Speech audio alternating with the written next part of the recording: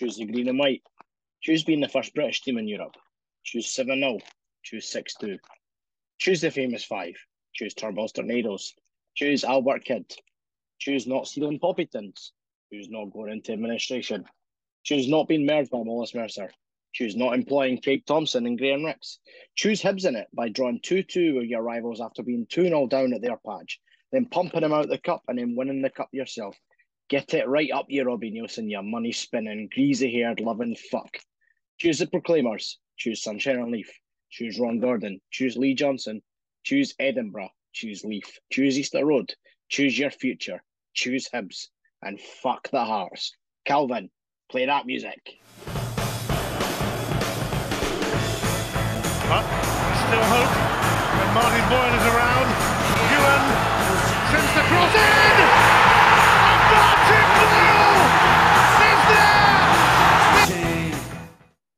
Hello and welcome back to the Strong Opinion Hibs podcast. Uh, I'm your host this evening, Calvin. I'm joined by Jack. How you doing, Jack? Not bad. It's been a busy day at work, but uh, good to get on the podcast to talk about the Derby I patched. So I'm looking forward to it. I know we're a couple of days late, uh, sort of getting out to this, but uh, I've been looking forward to it myself. And we're joined by um, new member of the podcast, Aidan. How you doing, Aidan? I'm good, mate. I'm good. Uh, I've not had a long day at work. I've been in my bed. I'm good. Good stuff. Your day off today, then was it? Aye, the first time in a, a week, so it was nice to just Uh, chill. you would you would have needed it to recover for the derby anyway.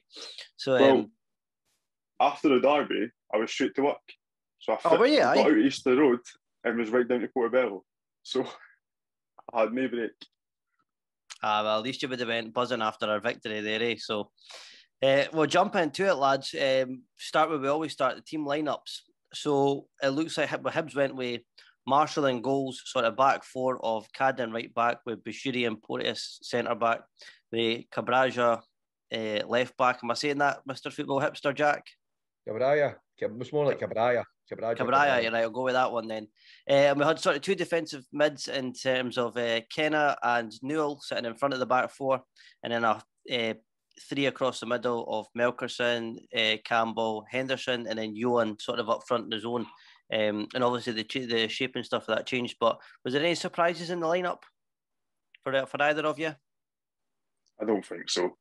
I think it, it was just an obvious lineup, really. Mm-hmm. Within obviously with um, players like being injured and Gio not being able to play, it just made sense. I don't think um, I think Campbell playing in the ten was maybe a bit of a shock. I thought he maybe would have played out Yeah. wide, Mm-hmm. but obviously clearing up. So And Jack, Uh, no surprises for me either. I think it's the strongest team we put, could have put out with what was available to us. Um, so no, no surprises for me at all. I think uh, one surprise for me was obviously the fact that I think Campbell was playing centre mid, and I said that in the group chat the minute it came out. I was a bit like, "Oh, what's going on?" Um, him sort of sitting in the middle of the park. It was a strange one for me. Like, um, and Henderson out wide, sort of playing that left left attacking um mid. I thought was quite quite strange as well. Um, and obviously one of the biggest sort of shocks I think in terms of the team team news was Boyle on the bench. Did any expect Boyle to be in the bench or even sort of be involved? I thought he was just going to get unveiled and that was going to sort of be it. But to have him in the squad was a massive buzz for everybody. Like, what was your thoughts on that? Sort of had an inkling, you know, when when I thought, well, if he's getting unveiled, you know, he, he might he might get in there. You know, I think there was a bit of buzz about it. Like we were standing out on Albion Road, um, drinking because there was no pubs. Um, so we were all standing about having a chat with folk, and it was, you know, we were saying why I think Boyle might actually get involved again. I was like, well, I didn't ken like his international clearance come through, but obviously it transpired like there's a lot of work done behind the scenes to make sure he was ready. Lee Johnson wanted him ready, and Mhm. as Boyle said in his interview, he, he was more than up for it. So I think I was like, is he going to be fit enough? And you know, so I was worried you might have Rocky Part Two. It turns out that he came on and didn't have his international clearance, but um, nah, I think I was I was really really um, happy to see it, but I was surprised. I think, and I was worried is it a bit too early for him? It's such a big game for him to return to, but you know, as it transpired, he took it all in his stride because he hates the Hearts, Mister Boyle, doesn't he? Mm-hmm. Adam? Uh, nah. And do you know why? They posted a video about 10 minutes before the lineup got announced and Martin Boyle walking into the changing room, well, into the tunnel, full tracksuit. Like you're not going to wear a full tracksuit getting unveiled. Probably could have just wore jeans or something. Aye. Um, I had an inkling from then, and I was saying to my mate, and I was like, "Nah, he's he's start. We're not starting, but he'll play." I think it, they would have been absolutely mental not to play him in the derby, fit or not, because realistically, he wasn't fit. He wasn't fit when he came on. Mm-hmm. Yeah, just it was. I had an inkling, and I was sitting there, and I had a wee feeling, and I was like, "No, he might on the bench, even if it's just ten minutes at the end." But yeah, nah, I was I was happy with it. It was crazy. Like I don't think I've ever sort of experienced that when a, when a players came back like that before a former player. Sort of the buzz that was actually generated from that was very surreal. There's a there's a real deep connection between Boyle and the fans at Easter Road. Like it's it's good. Like and I was buzzing to see him in the team, and I think that would have. A lot of my hearts mates were worried by that as well. Um, they were gutted, obviously, when he signed back, but then to have him in the team that as well, a lot of them were pretty worried, but they were trying to pass off as uh, Barrie McKay being a better player, which is laughable, but we'll get to all of that. So um, the game starts, guys. First half, what did you think Hibs in the first sort of opening phases of the game? Anyone just jump in? Oh, yeah, I'll go. Um, first 15, I thought, here we go. We've got absolute batteries. Look. I was so confident. I was sitting there and I was like, now we've got them. We've just seemed to get out of the traps really quickly. First time I'd seen that in a while from Hibs. Um, I, I felt like it was good. We just got at them. So first 15 was good. After that, just we had chances. Like we we'd obviously watched a lot of tape on them because we exploited our wings really well. Youan got in behind brilliantly for the first chance. Um, Cadden and Melkersen on the other wing, partnering up, putting it around their wing back. So I know I think. Do you know what? And I'll be honest with you, I, I don't think the game was great, and as a whole, bar the 90, 95th minute. And I think there's still a lot of work to do because it's such a young team, mm-hmm. such a new system. So I think there's still loads to do. Yeah, I think I think you've seen glimpses of that as well, and I I, I kind of think the goal at the end maybe papered over some of the some of the cracks or so, sort of um, overshadowed some of the things that you know we this team does certainly need to improve on. Like, um, but no, uh, Jack, any thoughts, mate? So I think, like, yeah, when when the way we started, I thought we might actually win. You know, I, I thought, you know, we're going to get the duck off our back. If we're going to win a, um, I'd like to add your men's derby at Easter Road for the first time in um, four years. It was like, here, here it's, it's, it's happening because, like Aidan said, the, the way we were getting in behind, the way we were exploiting the weaknesses Hearts have, it was brilliant. I think Youan, especially for the first chance, and I thought Youan was actually really good for more or less the whole game. You know, the way he was getting in behind, it was brilliant. And I thought, yeah, we're, we're, we're working on them, we're working on them, and surely one of these has got to go in. And there was a few, and Gordon made a good save. I thought, I thought to be fair, at times Craig Gordon, you know, was keeping them in it with some of the saves he made. Mm-hmm. Other times, I think we're being a bit wasteful as we usually are. Um, you know, we're, we're getting a lot of good balls into the box, and as usual, there wasn't really much getting on the end of it, which I thought was a bit frustrating. But first 50 minutes, first 50 minutes, I thought this this is good. We've, we've set the tone here. And um, I, I, was actually at that point like, come on, we, we, we're actually going to get one over on these finally. But obviously, it sort of went a bit pear shaped mm-hmm. not long after that. I think I think uh, I'm sort of in agreement. I think first 50 minutes, I thought Hibs looked good. I think Hibs definitely came to play, and it was I sort of got a wee bit of a, a look into the sort of stuff that um, Johnson's Lee Johnson's been talking about that sort of fast flowing foot attacking football. First 15 minutes, we've seen that. I thought um, it was good that we were trying to exploit Hearts with balls over the top, um, their fullbacks and things like that. But I, I do think they, as we, we grew into the game, they became really streetwise to that, and I think they they dealt with that quite well actually. And I, I, I think so. A couple of times we put them under pressure uh, when we got in behind. The first one sort of comes from um, is it uh, Cabraia puts a, a ball over the top of Michael Smith uh, they're right back to find Youan. Uh, and Youan sort of gets the ball in the front of the East Terracing, uh, running down the line, runs into the box and shoots front post. I thought that was quite a good bit of move, and it sort of showed you what that Youan can bring to the team. Someone who's big, strong, and direct, and really pacey as well. Um, what did you think of that move? I liked it. I thought that that's what we've been crying out for a bit of that, to be honest. I think you mm-hmm. look at last season, we didn't really have a player that could do that. So I think that used to be sort of what Big Doidge did until obviously he's had his fitness issues. But Youan's got the sort of pace as well. You know, you can see when he turns the burners on, you see how fast he goes. Mm-hmm. That was, I think, that was brilliant. And like you said, it's sort of glimpses of what Lee Johnson's working on. And yeah, I, it was it's actually really good to watch. And usually you don't say it about Hibs in a derby because it gets really bogged down and it can get quite scrappy because of the sort of game it is. But that was like really beautiful stuff to watch that. And I hope we see more of it. And think Youan has a lot to offer as a player. I really like him and hopefully he gets mm-hmm. that first goal soon and that builds up the confidence because from what I've seen, especially in the derby, because it's a big, big game. And for a player to still play with that amount of skill and have that bit of tenacity about him in a big, big game like that, especially when he's not been in the country very long and not been at the club very long, mm-hmm. that's promising signs. So I'm really looking forward to seeing more of what Youan can do. Mm. And Aidan, what did you think of yourself? One of the things that sort of stuck out to me with that move is I felt like the minute he got the ball and as he was breaking forward, he only had one thing on his mind, and that was scoring or shooting, having a shot on goal. And in the past, I think that's something that we've sort of hesitated in the final third. We maybe get to the final third, we'll maybe look to square it, or we stop sort of uh, as they're running into the box, we sort of stop and look look for a different option. But he didn't. He wasn't bothered. Like didn't have anything else in mind but trying to get get get a shot on target and put Gordon to work. Do you think yeah. that's something we've missed over the last couple of years? Oh, 100%. We've only, well, especially last season. I think the season before last, also we had Doidge, Nisbet, and Boyle all scoring goals. Last season, we really missed it. We didn't have, mm-hmm. I feel like last season we were a bit, it got a bit tedious. Like they just passed for the sake of passing and not pass to find some, something to do.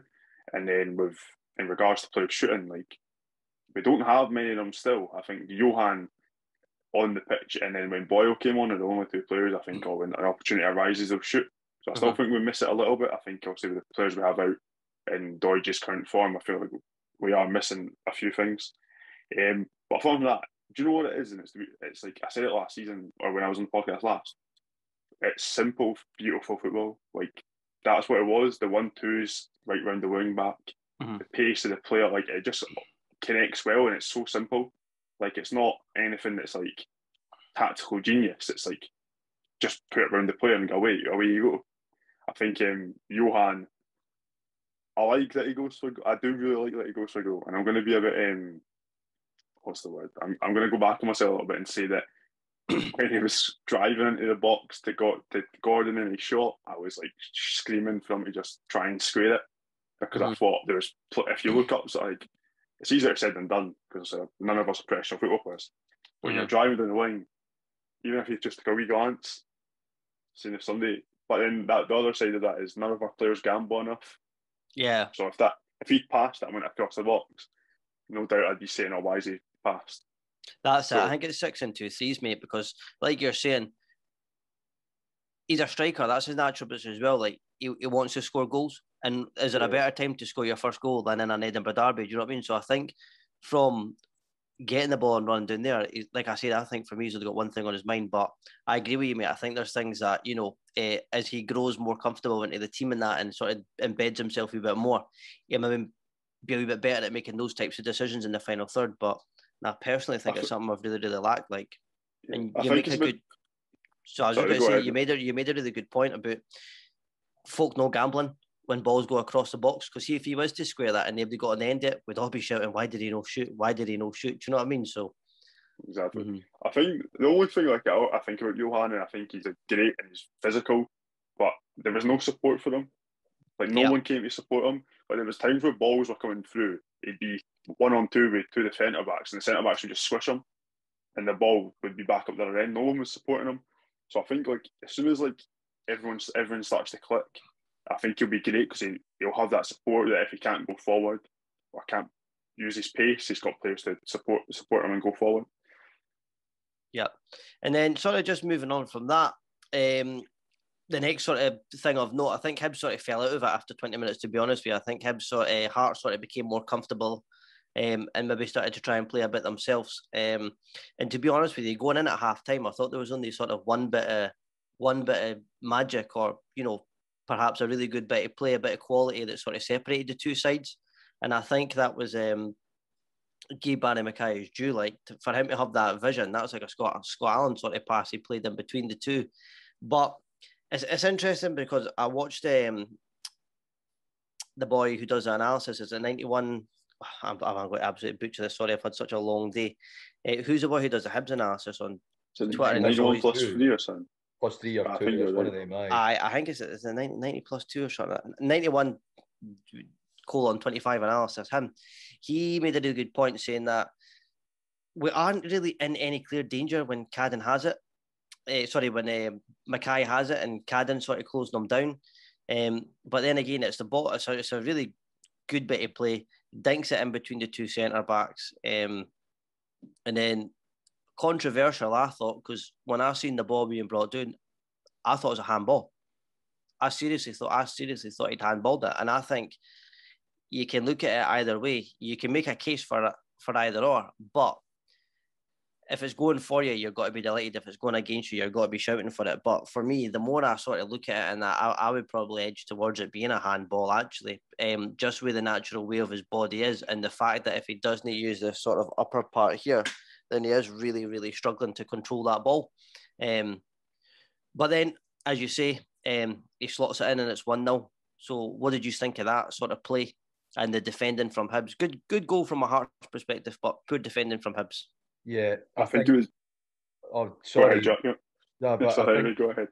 so I think like what happened was like I was sitting actually saying to Charlie, Charlie was in front of me, and I was sitting saying to Charlie, you know, that all comes from us trying to play too many hoofs at that point. That we we started to panic and started trying to hoof it, which is Hmm. that's not how Hibs play. That's how Hearts play in a derby, and that's the problem. Is Hearts know because that's what they do, the hoof.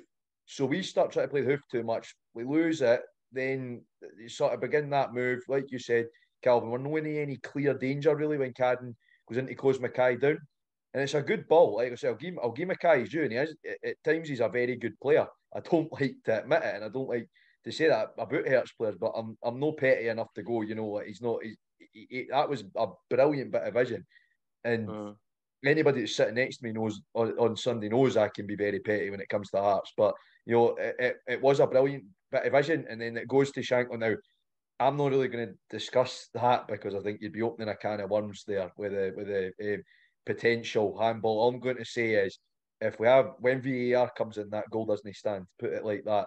But um, I think you know it was at the end of the day it was a good finish and it, it sort of exposed our weaknesses. We've still got a wee bit shaky at the back because we should have done better there. You know, we, we should we should have done better. We should have been more wise to that.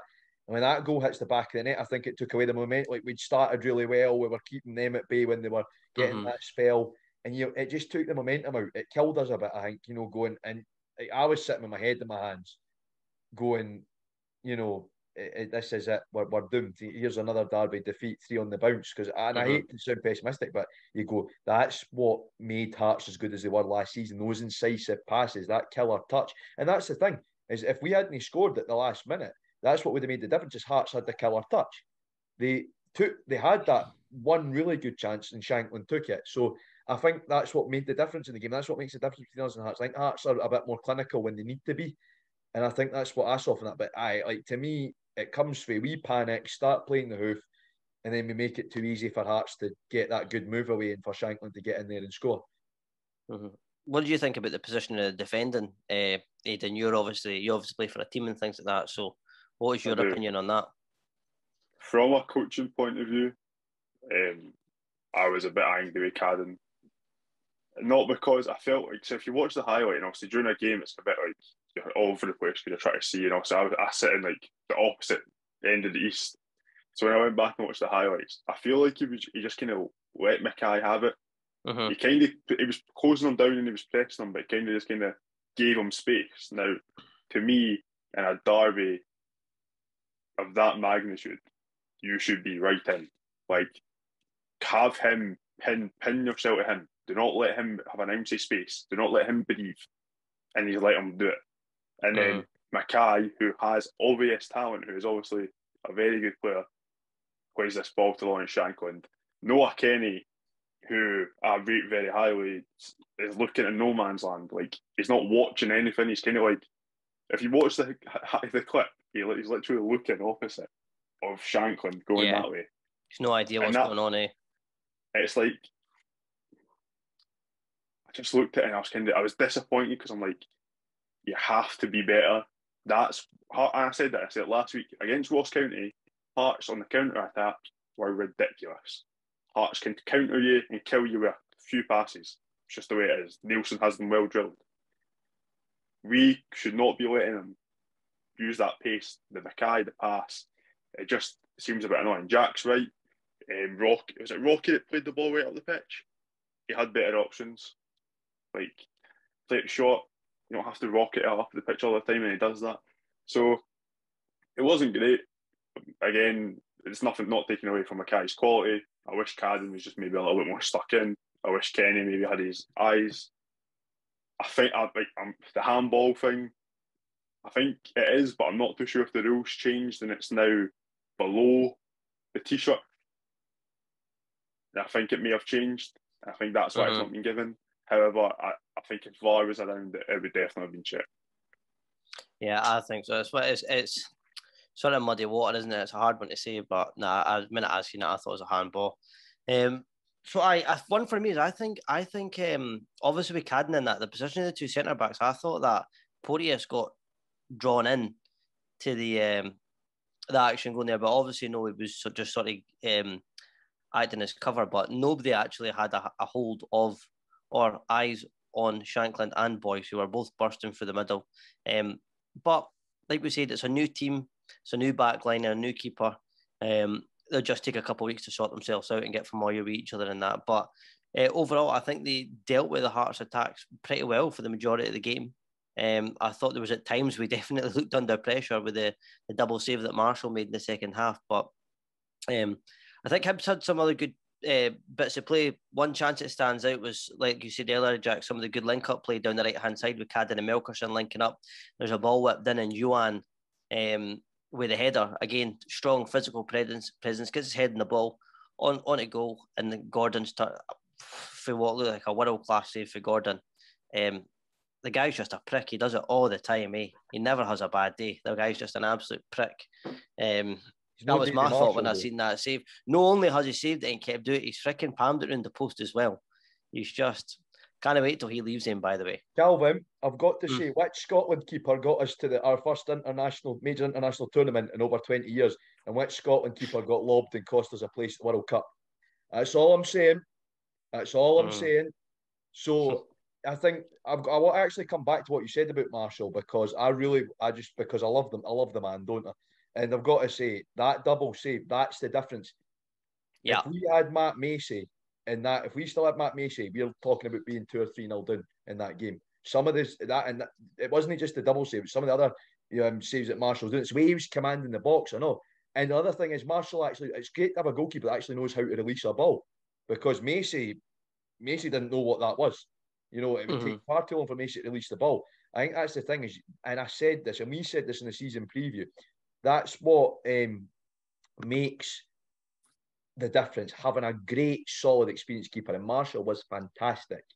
And you could tell how much it meant to him. You, know, you can tell he's not here just because he wants to see his career out. The way he went mental and was giving it right to them in the south mm-hmm. stand, right to the mutants in the south stand, um, when when he, when we scored, that shows you how much it means to David Marshall. And I think that honestly, that double save was one of the defining moments. I think that to be honest, for me, is how we got the point out of that. Because yeah. Marshall makes that double save. And I think to me, having that really just sort of inspired the lads on, knowing that you've got a goalkeeper that has your back.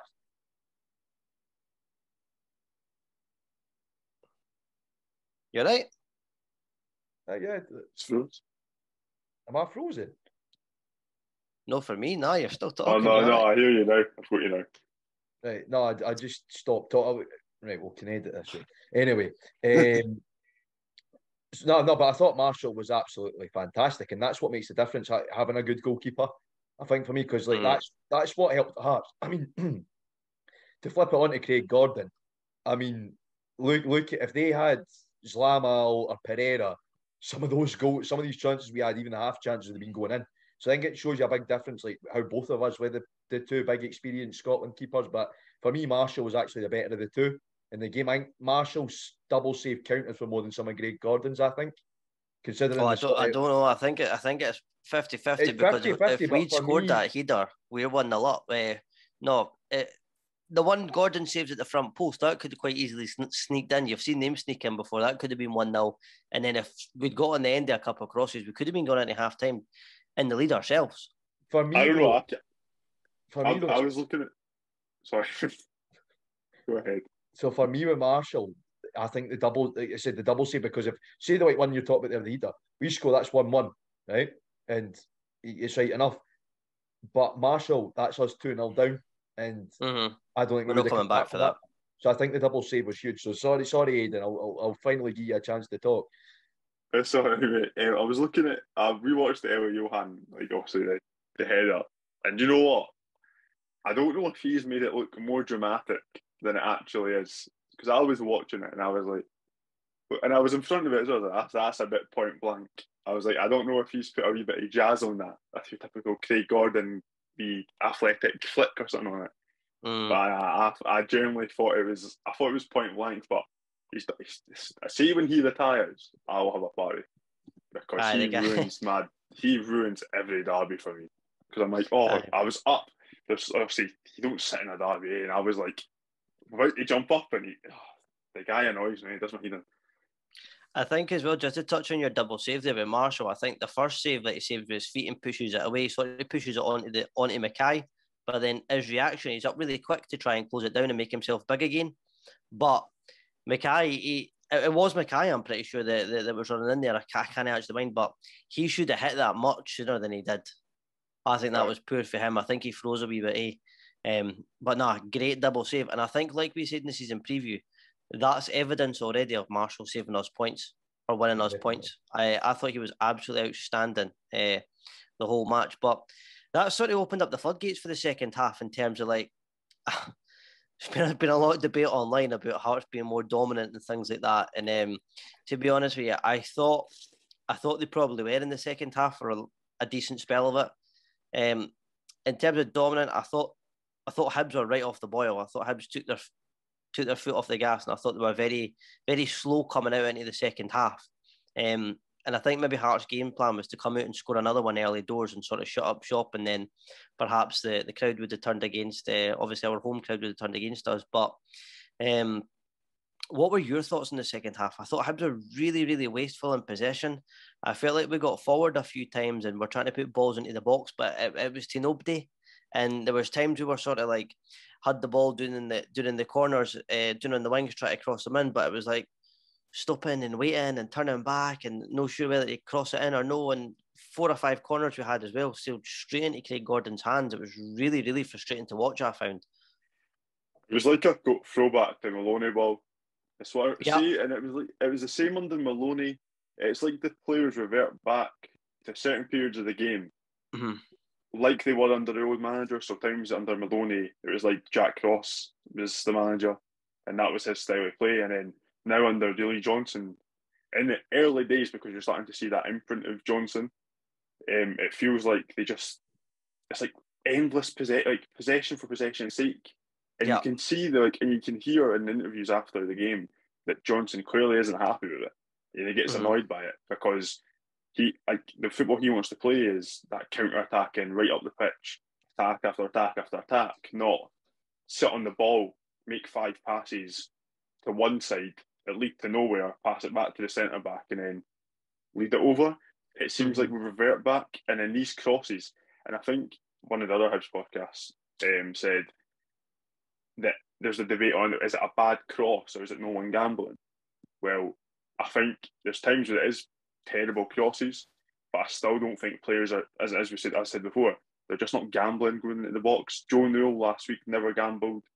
Henderson never gambled last week. Obviously, I wasn't on the pod, but when I sent in the notes, and then this week, it's just like they don't want like the mid midfield, the bar, the two, the whole team bar Élie Youan and Martin Boyle.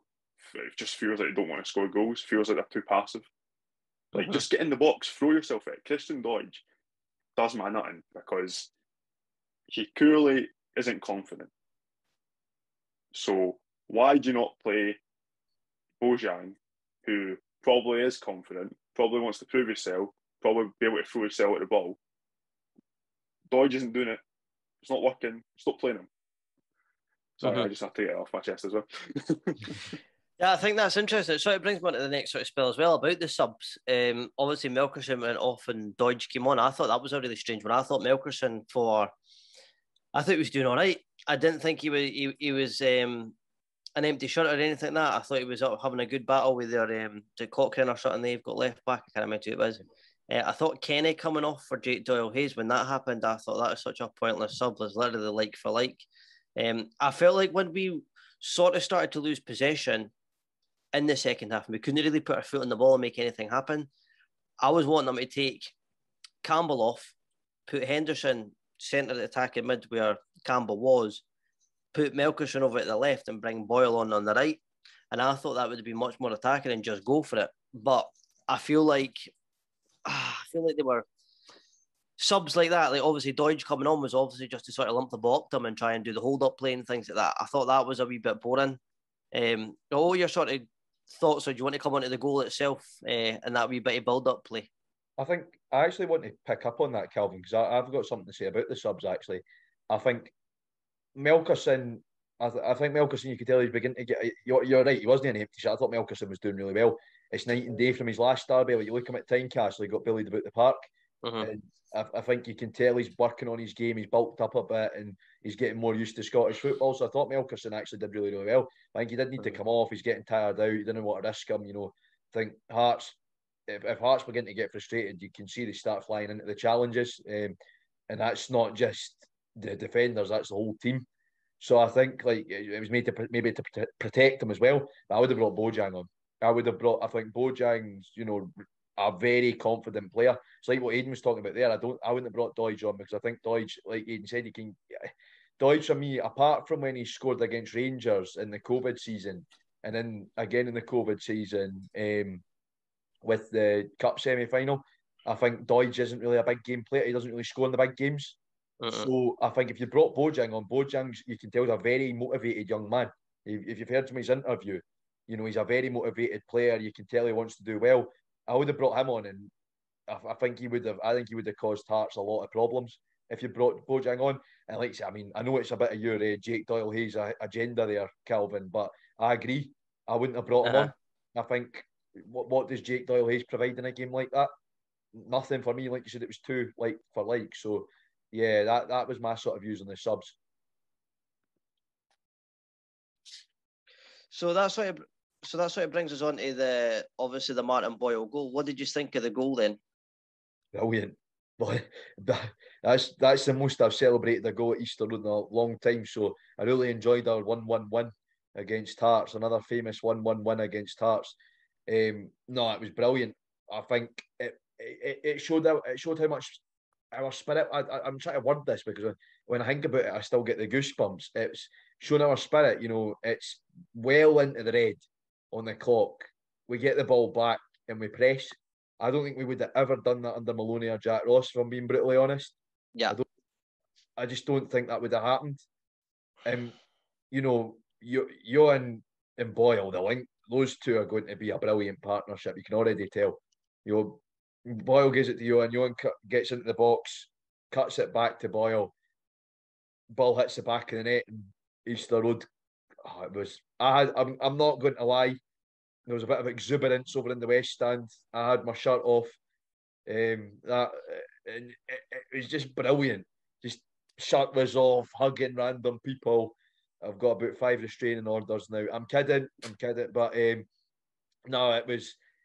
That's what football's all about at the end of the day. And I think we're seeing mm-hmm. you know, I think we've maybe seen what's happened on Twitter the past couple of days, and to me, that's what being a Hibs fan's all about. Is the ball hits the back of the net, 95th minute against your rivals, and the ball hits the back of the net, and you it's just a sea of bodies everywhere, and it, it, that was outstanding. That's what Hibs is about for me. That's what that's mm-hmm. always what it's about is going and celebrating big goals like that. That's what we're about as a club. It was brilliant. It's brilliant play, taken away from the emotional side of it, and sort of you could audibly hear for fuck's sake Hearts when the ball went into the back of the net. I'm not even joking about that. You could actually hear for fuck's sake Hearts when the ball went into the back of the net.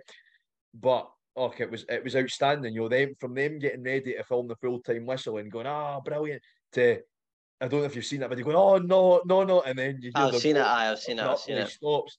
Watched that a few times. And then the then it emptying it out, then the south stand emptying out. I think that's what the derby's all about. I, think mm-hmm. that's what the Edinburgh Derby is all about for me. But it was a brilliant bit of play. You know, Youan, he, he, and it's like what we are talking about earlier, how you know Aiden wanted him to cut back, and this time he did it, and it paid Mhm. off. Yo, brilliant bit of awareness for Youan Ank cuts it back, and Boyle. I think we should release a beer um, called Three Yard Tapping for Boyle uh, because if they've done it for Ozturk, we need to be doing it for Boyle. I think it, it, it was it was just brilliant, and it, it, it was written in the stars. I said it sort of semi jokingly. Actually, I tapped Charlie on the back and said, ah, "You know what? I think he's scoring. He's he's he's come on, and you know what? I think he's scoring. It's written in the stars, isn't it?" And I thought I said that more than hope than belief, to be brutally honest. And Mhm.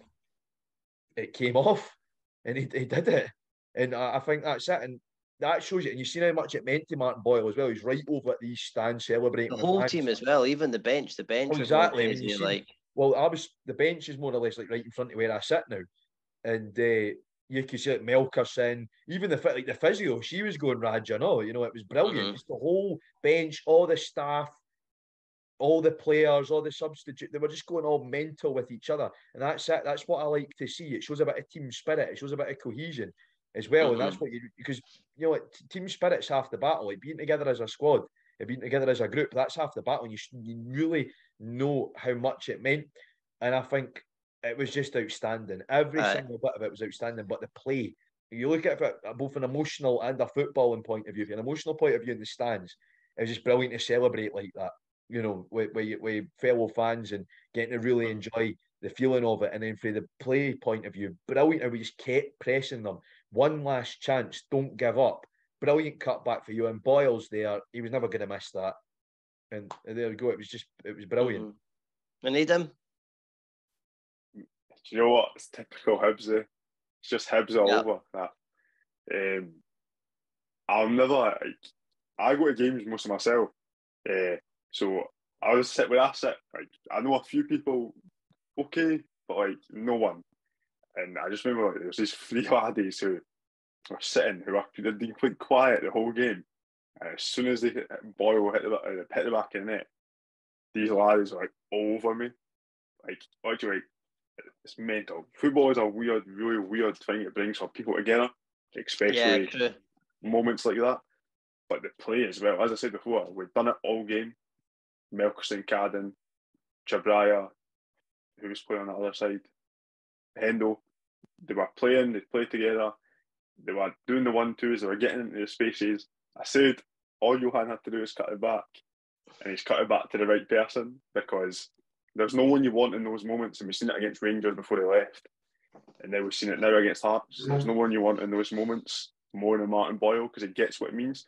He's the mm-hmm. only Aberdeen fan that I know that loves Hibs more than he loves Aberdeen. Yeah, So- absolutely. It's just just the way. But no, I am. It was amazing, and I don't. I don't think I have since Hearts, since it would be Hearts three one, ever celebrated a goal like that. Um, he like Martin Boyle is Hibs. Like Lewis Stevenson is Mister Hibs.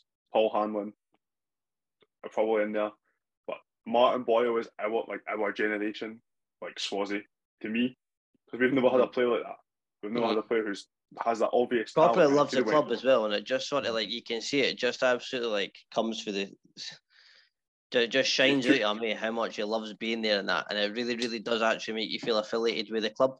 And I'll be honest with you, I didn't realize how much I missed him until he was gone. And see, when Yeah, you seen him in a different team's kit and that, you were just like, wow, I can't believe it. Felt felt like an ex or something. I was like, I didn't post enough pictures of him. I didn't like enough tweets about him. I didn't tweet about him enough. Do you know what I mean? Like things Yeah. like that. When you you're really sad to see him go, like, but nah. It was it was a celebration, the beating of the chest, Mhm. right down. I thought he was going to do a Benji. I should have. Down and celebrate in front of the Hearts crowd. I thought he was going to go mental. I think Joe Mills kind of like turned him to like make sure he doesn't. But nah, eh, I think, do you know what I mean? I'm just happy I'm him back. Yeah, I think Jack basically, like the, the play was brilliant. Youan, brilliant. The chest, absolutely. Did he Halkett, brilliant. The ball, brilliant. The goal, brilliant. Hibs, brilliant. Nah. It's just, it is a typical Hibs. There's a saying down in Manchester, typical city. That's typical Hibs. It's I brilliant. Aye. think I Neilson's thought got record. For me, I was well. going to say that. Oh, what are you saying, Jack? Said Neilson's got a track record of losing late goals against Hibs, hasn't he? I absolutely has. I was going to say that uh, from my point of view with the goal, I thought that was the second time in the match that Hibs actually got the ball on the deck and went through the middle of them. Just went right through the middle of it. Instead of trying to pass it out to the sides and things like that, he's done really well to hold it up on his chest, the big boy, and bring it down.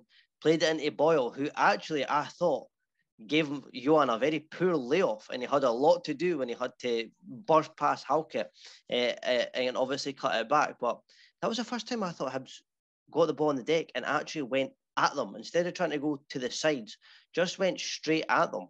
And um, there was one time before Henderson done it later in the game, must have been about 93 minutes or something like before he done it. He got the ball down and he tried to, in the middle of the park, thread the ball through a Boyle, and they couldn't cope with it. And that, like you were saying earlier, there's a lot of things missing in that team. And yes, that was a great goal and it was brilliant and things like that. But we could quite easily came away with nothing. Do you know what I mean? And I think that would have papered over some of the cracks. But I think one thing we're absolutely crying out for is a creative centre mid. Someone like a Scott Allan, someone like um, Dylan, Dylan, McGee, Dylan someone like that who can put their foot on the ball and make a forward pass uh, and, and sort of cut open defences. So, yeah. No, we all thoroughly enjoyed it. I know Big Charlie enjoyed it too. Uh, he was very, he, I think he's still tweeting about it now, to be honest with you. but He's always in Wales this week. He's away on uh, work duties and things like that. But Going on to next week, then, boys, we're away to Livingston, um, which I think will be our toughest test so far, actually. I think Livingston have had a very good start to the season, uh, although they've won one, lost one. They, obviously, they opened the, opened the season to Rangers. Um, they were 2 1 2 1 defeat to Rangers, but they were 1 0 in front for a large percentage of that game. Um, and then obviously they just beat a decent Jack Ross side that was on a high, decent Dundee United side that was on a high for midweek Europe. So I think that's going to be an absolute test and a half. What's your thoughts going into that match, lads? Definitely. You know, I think, you know, I, I never thought I'd be saying the sentence that's technically makes Livy better than AZ Alkmaar, but, um, you know, we're, we're, we're here. Um, but I think, you know, Martindale has them as a very well well drilled side. And I think you could argue that Livy were very unlucky not to get more out of the Rangers game than what they did. You know, they ran Rangers very close, and that's a good Rangers side. You know, I think we've got to be honest there. And the way that that big has come on to a good game, you know, yeah, he made Souttar look like an absolute diddy when in, in that game. Um, and they were really good against a, a good Dundee United side. You know, I think that's a Dundee United side that are looking good to possibly qualify for Europe and they went up to Tannadice and beat them. And and that's the thing is Livy are very workmanlike. They're not got particularly a lot of skill about them, but they're well drilled and they'll wear you down. And that's what I think the problem is. We don't play well against it. I mean, Morton and Falkirk, we struggled against them because they were well drilled and sort of solid and hard to break down. Now that those are that's a championship team and a League One team. What is that going to be like against a Premiership team that are well drilled? And I know we beat St Johnstone, but at the same time, I think Livy are better. Livy are a lot better than St Johnstone. Livy are a lot, you know. The thing is, St Johnstone just defend. Livy defend, but they do it intelligently. If you see what I mean, they've still got a bit of intelligence about them. St Johnstone just point blank park the bus, wish for the best. Livy have got a bit of intelligence. There's sort of method in their madness. If you see what I'm coming from there on that point, so I think Livy are going to be really difficult to break down, and I think we're going to really need to be clinical in that game. That's the one thing. Be clinical. I think keep the ball in the deck. That's the one thing is I think if we start playing the hoof again, it's just going to work against us. If, even if we're getting mm-hmm. frustrated, even if Livy are getting hard to break down, we just need to keep the ball in the deck and play again and play against them and, and play intelligently. Because I think the thing is, they are like I was saying, they are a very good side, and I, I'm going to say that now. I've admire what Martindale's doing, and to be honest, when Maloney got sacked, would have taken him at Hibs. It's as simple as that. Oh, not sure I would have joined you with that one, mate but he's doing really well, uh, and I think that a, a well, you've good phrase there, mate, a well, well-oiled machine, and I think, like you said, it'll be very, very tough to break down. Um, Aidan, any thoughts heading into the weekend? You... Uh, I think, do you know what? And I'm going to be a complete happy clapper and say we'll win and we'll pump them. I think we're not going to play the long ball against them because at the end of the day, the reason we played the long ball against Hearts because that's their fragility. That's where that's where they're, they're, they were the most fragile down those wing backs, ball over, Youan, Melkersen onto the ball. That's why they've done it. Don't think it'll be the same against Livy. I think they know that Livy are a good and a well oiled machine.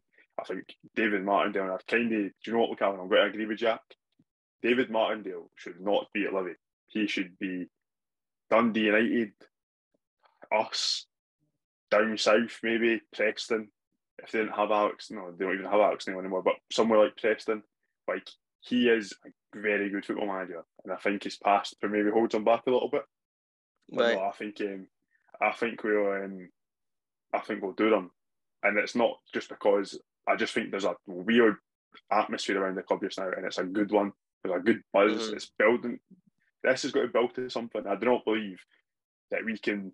I've never seen a Hibs team since the Scottish Cup final play for ninety minutes and not stop. This team are built built for something special. So games like Livy, I, Falkirk, Morton, terrible results. Should have beat them, but I think Joe Newell put it well. Is that's when the questioning mentality got put into them. They weren't playing for the full ninety minutes those games. Now we're in the week. Now they are playing for these ninety minutes, and I think now we'll go for it. And I think we'll win. I think we'll do two 0 I say two 0 and that's that's what I'll leave. it. That's my prediction. Two 0 win. We'll leave the spaghetti ad happy. Come back. We'll be good. Jack, you got a prediction for the weekend, mate? I think I'm going to say I've, I still think we'll win, but I'm going to say it's going to be a tight one 0 win. I think it, it's not going to be. I, I I I like what Aidan's saying there, but you know I've watched Hibs play Livy many a time, and it usually doesn't go that way. So I'm I'm, I'm going to say, and also we've not won there in a, quite a good while as well. So I think we'll do it, but it'll be tight. So I'm going to say one 0 Hibs. I think I'm going to say 2 1 Hibs. I think uh, Youan will be in amongst the goals, and uh, I think Boiler might pop up as well. So that's what it brings us to, to a close on the men's section. Um, looking at the women's section, Jack, they were started their league campaign against Celtic away, um, and obviously that was quite quite a shocking result on the on the a heavy nine 0 defeat. Where did it all go wrong, Jack? So yeah, I mean obviously I was there at the um, Excelsior, and I think Did you patch a derby for it? Did you? I, apparently, apparently, according to some people, Mm, um, I was spotted. I was spotted at both, but you need to verify that. But um, all, all I'm going to say is, uh, Airdrie had an absolute. To quote Tam McManus, Airdrie had an absolute ready with that as well. Only opened one turnstile and missed 11 minutes of the game. But um, you know, I think obviously it, it's it was just a horrible fixture to start the season off with. To be honest, um, I'm Mhm. going to, you know, no matter what the circumstances, you know, Celtic are a very, very good team right now. They obviously did the double last season, won the SWPL Cup and the Scottish Cup, and um, Fran Alonso wants them winning the league this season. He, he- he's spread it like he wants them doing the treble. They want to challenge Rangers. They want to challenge Glasgow City. Celtic really want to become dominant in the women's game, and um, I think it was always going to be a case of going out there, and it was a case of keeping the score down. And unfortunately, things just did not go our way. You know, so first of all, we've not had anywhere enough of a pre-season, and during pre-season, we've only had ten of our own players. So, it, because we had two trialists, as well, um, Leah Tweedy, who used to play for us in Hearts, who's keeping herself fit while she's looking for a new club, and then you obviously had um, Dickov, who was a Hibs Academy graduate, and she's going over to America to play. So she was keeping herself fit before that because their season doesn't start yet. So you had a pre-season where we had 10 players and we're playing the same 10 and then those two trialists. So we had a bench of two. We had Joelle Murray and a trialist, um, Dickov, and then you had Leah Tweedy and 10 players. And they're the ones that had to play all the pre-season games. So of course, fitness levels weren't anywhere near what they should be. We've not had the SWPL Cup, which doesn't help. I think last season that really helped. Having the League Cup group stage really helped gel the squad together, especially like the new Americans coming in and everything. We've just not had that. So originally, we would have probably have ended up playing Kirsty Morrison, Rosie Livingston, Ailey Adams. Kirsty Morrison got COVID. Rosie picked up a training injury. So what was happening? You were forced to play Christina Freda, who's barely just arrived in the country. And my work permit's barely just come through. You've got Crystal Thomas, who's still jet lagged from coming over from America. So already you had that fitness problem there. And then he had to bring Norm Mustafa on. Norm Mustafa's got a thigh problem at the moment, another new signing. Um, she's not had enough sort of chance to train and get up to speed. And then you were you've got to realise English the, the two English girls, um, Poppy and Ava, are two very young players. And the same the girl was signed on loan from Liverpool. You know, they're young players, and you're expecting like 19, a 19 year old, a 16 year old, and I think uh, Ava's 20 odds. You're expecting three very young players just to go in there and immediately, because you know, English and Scottish football, two very different games as well, especially in the women's game. And you're expecting them to immediately go in there and adapt it, especially against such a good side like Celtics. I just think it wasn't our day. And to be honest, I know it's it's going to sound silly, and um, a bit like a happy clapper and maybe being a bit blindly loyal here, but it wasn't a bad 9 0. You see what I mean? I know that sounds like a really stupid thing to say, but it's just a case of like Celtic were very efficient with their chances and they're very, very fast. I think that's the thing. Is it's interesting. Dean actually said this: is Celtic are easy to prepare for, but they're hard to play against. They play the same tactics every time. Celtic. Fran Alonso has the same tactics. It's all about pace, pace, pace. You've got Shane, you've got Jacinta, you've got Chloe Craig, you've got Bart, you've got um, not Bart, oh she's left. You've got um, the, the girl that gets into the Scotland squad, whose name I forgot. But you've got very fast players at Celtic, and that's it. They just run in behind you, and that you get sixes and sevens ran round you, and that's it. I, I just think it was very, very unfortunate because of all the permutations, if you like, to it, because of all the injuries, because of the lack of fitness. You know, it, it was even worse that Amy Gallagher scored twice against us on her Celtic debut. I think that hurt a bit to see Amy in a Celtic because Amy was one of my favourite players last season, and to see her in a Celtic shirt scoring against us, it, it didn't feel right. But to be honest, like going into positives, I thought Crystal Thomas, even though she was jet lagged, looks amazing. I think she's going to end up being one of our best players this season. You know, the she's the way she was driving past the Celtic defence was brilliant. Benedicta Haaland, if it wasn't for her, it could have been 12 or 13 now. Benedicta Haaland made some really, really good saves. And I think she's not as loud as Gabby was. She's not got Gabby's communication, but she's a very good shot stopper and her distribution's excellent as well. And I also think Eleni Gianu, the other Cypriot player, she looked brilliant when she came on. So there is positives to pick out. I think, to be honest, it's a case of a bad first fixture playing against that Celtic team away as well. And, you know, to be honest, I think once the squad gets time to gel together and we get fully fit and we've got everybody we've got available to us, it'll work out. The other thing didn't help is Siobhan got a red card for absolutely nothing. I mean, mm. if you mm-hmm. look at if you look at that penalty incident, it was a unfortunately it was a penalty. I think you know she had her hands all over Gallagher, but it wasn't a sending off. I think that was a ridiculous decision. So without Siobhan, what I've got to say is when Joelle came on, and I think this serves me glad from for saying that Joelle would probably not be the player that she used to be. When Joelle came on, it changed the game. Joelle, it, it was like she'd turned back the clock. Joelle was absolutely fantastic, and it again saved us from it saved it from being worse with Joelle coming on. So if I were to sum it up, I'd say 9 0, a record defeat for us. It's not great, but we just got to move on to Hamilton. I think we should beat Hamilton. Obviously, mm-hmm. they're one of the favourites for the drop this season. So I think we should go first game at Meadowbank. So first home game at our, our new home. We we should we, we, we, we should win. We should beat Hamilton, no problem. And That'll do the confidence a bit of good. So, and hopefully at that point we've got a bit more fitness. We've got minutes in the legs now. We know what went wrong against Celtic, and I think we know maybe what our best system is and what players we need to rest and everything like that. So, hopefully, I mm. think it's just a blip, and, and unfortunately, a lot of people there's a lot of meltdowns, and I, I think they're unwarranted. You know, you don't know what's going on. We've we've literally had the squad as it is for five days before that game. So five days isn't enough to prepare for a game against the double cup winners for last season. So yeah, I, it's a tough one to take, but I think well, it's not going to set the tone for the rest of the season. If I'm being brutally mm, honest, we'll bounce back. Yeah, definitely. Yeah. So just to bring the podcast to a close for this week, then, um, thanks very much, Aidan, for obviously joining the team with good contributions. I appreciate it. And hopefully everyone's enjoyed listening to you, mate.